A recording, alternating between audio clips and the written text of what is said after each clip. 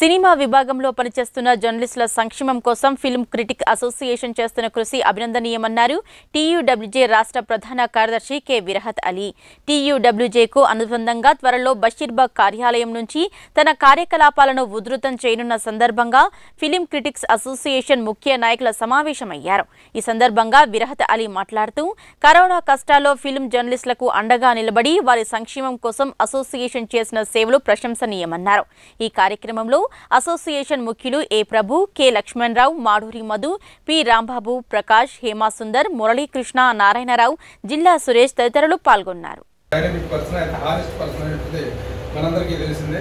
అలాగే మన film critics association అనేటువంటిది వారి వర్కింగ్ జర్నలిస్ట్ యూనియన్తో ఎలా ఎఫిలియేట్ అయింది గత కొన్ని యాభై సంవత్సరాలుగా కలిసి ప్రయాణం చేసినటువంటి ఒక అసోసియేషన్ ఈ రోజున మనకి ఇక్కడ బషీర్బాగ్ ప్రెస్ క్లబ్లో ఉన్నటువంటి ఒక రూమ్ని మనకు కేటాయించి గత కొంతకాలంగా మనమే దాన్ని సరిగా పెట్టించుకునే పరిస్థితుల్లో మరలా దాన్ని మేము రీకన్సిల్ చేసుకుంటాం ఆ రూమ్ మేము తీసుకుంటాం మాకు కావాలి అని అడిగిన వెంటనే కూడా తల్లి గారు చాలా సహృదయంగా దాన్ని స్పందించి ఈ రూమ్ను మనం కేటాయించడంలో కానీ దాన్ని మళ్ళీ ఇచ్చుకున్న మళ్ళీ ఇచ్చేయడంలో లక్ష్మణరావు గారు కానీ వీళ్ళందరూ కూడా పెద్దలు. లక్ష్మణరావు గారి యొక్క సర్వీసెస్ మనకు రియల్లీ హ్యూమన్ సర్వీసెస్ ఆయన.